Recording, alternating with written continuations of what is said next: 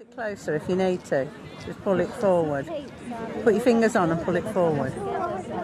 No, in and pull it forward. No, that. Go on. Hey!